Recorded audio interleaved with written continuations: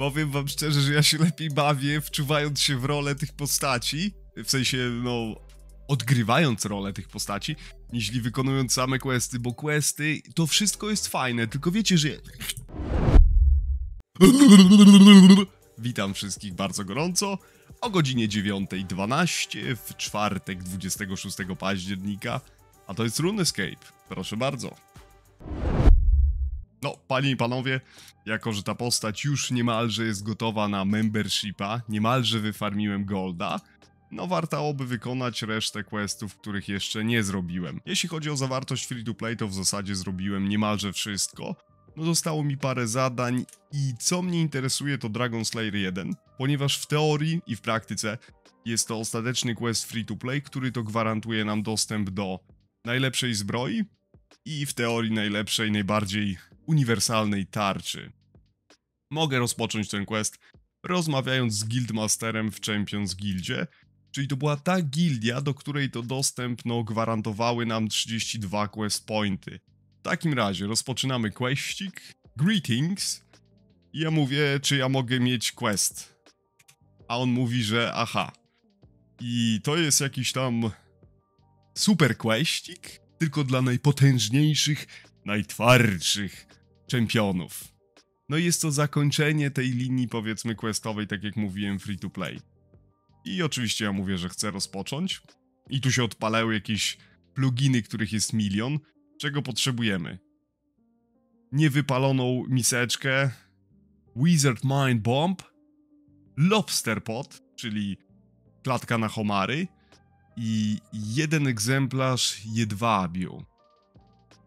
To bardzo interesujące. Aby rozpocząć sam quest, muszę porozmawiać z jakimś Ozajachem, twórcą runicznej zbroi. Okej. Okay. W tym wypadku na początek rozpocznijmy od zbierania tych przedmiotów, bo to będzie clue. Nie będzie przedmiotów, nie będzie questa. W jaki sposób mogę zdobyć Wizard Mind Bomb? Tego nie wiem, ale reszta przedmiotów nie powinna być problemem. Ok, zaczynamy od zbierania przedmiotów. Pierwszym przedmiotem będzie niewypalona miseczka, no i żeby ją zrobić potrzebujemy jedną część gliny i jedną część wody. Mieszamy to, mamy wtedy mokrą glinkę, z mokrej glinki tworzymy formę na miseczkę, ale miseczki nie wypalamy. Proszę bardzo, tutaj jest źródło wody, syru, nabieramy wody, tworzymy mokrą glinkę. No, dla wszystkiego stworzymy dwie mokre glinki. Proszę bardzo. I w tym momencie, żeby stworzyć z mokrej glinki formę e, na miseczkę, musimy pójść do garncarskiego koła, na którym to wykręcimy sobie ów formę. Jeśli chodzi o pozostałe przedmioty, bierzemy to od vendorów, ale jako, że jestem w okolicy, to zróbmy tę formę na miskę i od razu rozpoczniemy questa. No i Barbarian Village, cholera, spędziłem tu tak dużo czasu farmiąc, łowiąc rybki do 67, cooking 69. Panowie, masa wspomnień, ale już powoli trzeba się stąd zawijać na tereny membership. No i tworzymy bowla. Jest to bowl niewypalony. Jak możecie zauważyć, ja biegam w kolczudze runicznej. Dlaczego? No bo nie miałem dostępu jako free-to-player do runicznej zbroi płytowej. Żeby to uzyskać, no potrzebujemy dwie opcje. Albo zrobić tego questa, albo mieć membershipa. Ale ja jeszcze membershipa nie mam. Takim razie, no niestety ten quest jest kluczowy, żeby mieć cudzysłów najlepsze statystyki free-to-play, bo statystyki ów gwarantuje nam ta zbroja. No i jest o zajach. O, to świetny dzień, mój przyjacielu. Czy możesz mi sprzedać zbroję płytową runiczną? A, skąd wiesz, że takową posiadam? Czempion Gildii Czempionów mi o tym powiedział. Doprawdy. Zawsze wysyła mi tych swoich bohaterów, żeby mi przeszkadzali. Dobra, ja go skipuję. Yy, pomyślałem, że dasz mi zadanko. A, dam ci zadanie. Pozwolę ci nosić moją zbroję płytową, jeśli zabijesz dla mnie smoka Krandora. Skrandor. A tak, jesteś typowym poszukiwaczem przygód, nierozważnym, prawda? A teraz idź zabij smoka i... Idź sobie. Ale jak mogę pokonać smoka? no, porozmawiaj z czempionem Gildii Czempionów i on powie ci, jak wykonać tego questa, jeśli jesteś taki napalony. Ja już cię nie będę prowadził za rączkę. Okej, w takim razie szybki teleport do Varrock i z powrotem biegniemy do czempiona Gildii Czempionów. Powiem wam szczerze, że ja się lepiej bawię, wczuwając się w rolę tych postaci, w sensie, no, odgrywając rolę tych postaci, niż wykonując same questy, bo questy, to wszystko jest fajne, tylko wiecie, że ja też troszkę się trzęsę, bo no lubię po prostu mieć tę dopaminkę, a tutaj to jest za wolne. Ilość, no, podquestów w questie jest ogromna. Musimy zdobyć przedmioty, musimy porozmawiać. Ja chcę dopaminki. No witaj, poszukiwaczu przygód. A ja mówię, że you fucking dawaj mnie questa. Porozmawiałem z Ozajakiem. No i co ci Ozajach powiedział? Pokonaj smoka Skrandor. Smoka Skrandor? No. Dobra. Yy, to nie będzie prosta robota, czyż nie? Co jest takiego specjalnego w smoku? 30 lat temu Krandor było... No dosłownie tętniło... Tęt... Tętniło? 30 lat temu Krandor tętniło życiem. I... Miało tradycję świetnych magów i poszukiwaczy przygód.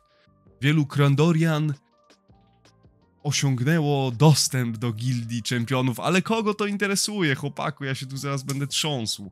Gdzie mogę znaleźć jakiś tam statek? On mi mówi, że... Nie wiem, co on mi mówi. Jak mogę się bronić przed smokiem? To jest bardzo ważne, ponieważ żeby bronić się przed smokiem, potrzebujemy smoczej tarczy. I na free to play tylko ten y, czempion Ozajach, który to tworzy również runiczną zbroję, tylko on jest w stanie nam sprzedać ów tarczę na smoki. Jak znaleźć drogę do Krandor, jakaś tam mapa do Krandor i jakieś tam e, kawałki mapy typu nie wiadomo o co chodzi. No i musimy porozmawiać teraz z wyrocznią na górze Lodowej Góry. Żeby to zrobić, potrzebujemy kilku przedmiotów. A żeby zdobyć te przedmioty, idziemy do Falador. I to mnie interesuje. Możesz kupić jedną bombę, jakąś tam czarodziejską. Aha, w karczmie, a ta karczma znajduje się, zdaje się, tutaj. O, poproszę bombę umysłową, czyli... Okej, okay, za trzy sztuki złota, których nie posiadam w ekwipunku. Ale sztynks, panowie. Proszę bardzo, zobaczcie ile mam golda. Bierzemy 2k. I szybki update. Ja myślałem, że Mind Bomb czarodziejska to jest jakiś przedmiot magiczny. Nieprawda. To jest, jak się okazuje, alkohol. W takim razie bierzemy jednego. I kolejny przedmiot, który potrzebujemy to jedwab. Żeby zdobyć jedwab, musimy przejść do lokalnego sklepu z odzieżą. I taki sklepik... Kurczę, nie widzę. Okazuje się, że jedwab możemy zdobyć w Warok, tutaj u Tesali. I jedwab jest w formie jednego, proszę bardzo. Został mi tylko... Została mi klatka na homary, a żeby ją zdobyć, znowu musimy iść z sandała aż do Remington, zdaje się. No i w lokalnym sklepie wędkarskim bierzemy jedną klatkę na homary, sru i z powrotem do Falador. Tak jak wspomniałem, na początku te zadania to było absolutne po prostu naplucie w mordę na haranie, ponieważ było za dużo biegania. Aktualnie mamy możliwość teleportu z lokacji do lokacji, więc y, cały ten teren free to play no nie zajmuje aż tak długo, ale nadal jest to niewygodne z tego względu, że nie mamy agility, które to powoduje, że mamy więcej kondycji. No i co nam powie ów wyrocznia na górce? Proszę bardzo. Szukam jakiejś mapy do wyspy Krandor. Y, mapa jest za drzwiami na dole. Coś tam, coś tam, stary, skip. Wychodziłoby na to, że zanim dostaniemy ów mapę, musimy wykonać lokalny dungeon, który to nie stanowi trudności, bo no, sami wiecie, rozumiecie, 103 combat level, statystyki prezentują się nie najgorzej i jak na free to play. No i sam questik to będzie w zasadzie kliknięcie dwa razy na smoka, no bo ja już wiem z doświadczenia, że smok na tych statystykach trudności nie stanowi. No i wchodzimy do dungeona. Który to rozpoczyna się niewinnie. Jakieś krasnoludki, jakieś kolejki, jakiś taki Minecraft.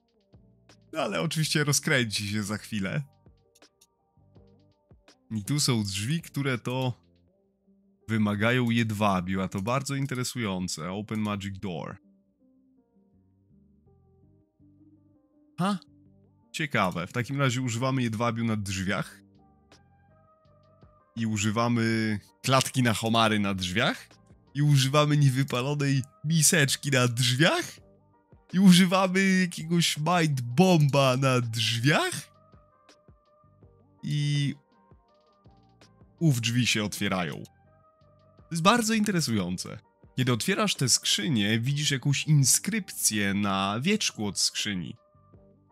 I ja po prostu skipuję tę inskrypcję, bo no nie chce mi się tłumaczyć, ja analfabetą jestem. Otwieramy skrzynię i znajdujesz część mapy w skrzyni.